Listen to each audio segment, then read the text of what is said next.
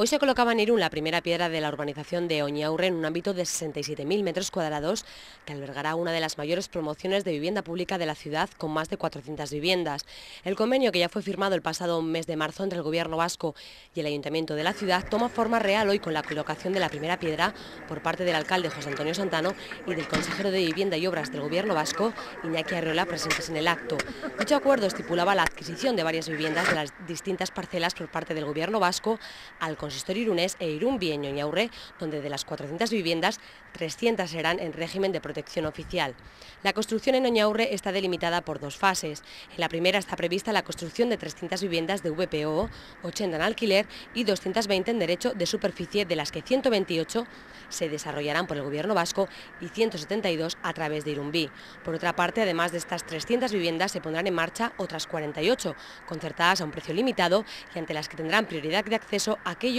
que estén en el registro de viviendas tasadas de Irumbí. Para el alcalde de Irún, José Antonio Santano, este proyecto permite a Irún avanzar en tres direcciones dándole mayor continuidad al tramo urbano. Y yo creo que este es un paso hacia el futuro, pero un paso que va en tres direcciones, que permite a Irún avanzar, va a permitir a Irún avanzar en tres direcciones.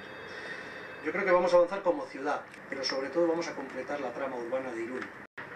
Y vamos a hacer lo que yo creo que es hacer ciudad en el sentido más amplio de la palabra, no solo construir vivienda, que es muy importante, vamos a hacer ciudad porque vamos a hacer equipamientos. Aquí va a haber escuelas, una nueva escuela, un nuevo equipamiento escolar, va a haber también un nuevo espacio para la salud, un ambulatorio nuevo. En esta primera fase se prevé urbanizar la parte baja de la ladera, donde irán ubicadas las primeras viviendas de protección oficial y la parte alta de la misma con conexión desde Belich, parte necesaria para la ejecución de gran parte de viviendas para los realojados de la zona. Con esta primera intervención se pone en marcha además todas las obras de desvío de instalaciones como depósitos de agua y de alta tensión y el arranque de la futura variante sur de Irún. Las obras que se iniciaron ya hace un par de semanas fueron adjudicadas el pasado mes de julio tras aprobarse en el Consejo de Irumbí a la UTE formada por las empresas Urbicolán, Mariez Currena y Zubieder por 7.868.620 euros y que en un plazo máximo de dos años estará finalizada.